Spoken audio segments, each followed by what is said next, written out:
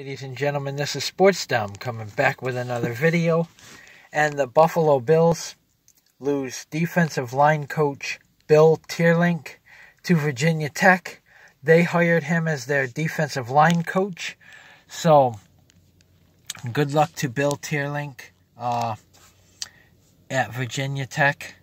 Uh, now we need to uh, go out and hire a new defensive line coach, and I think Coach Sean McDermott uh, will find a good defensive line coach, along with uh, defensive coordinator Leslie Frazier.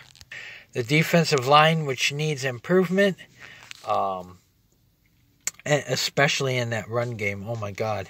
So hopefully they'll uh, they'll get a uh, defensive line coach that can help uh, with the run defense as well uh, and help fix some of the stuff on the defensive line.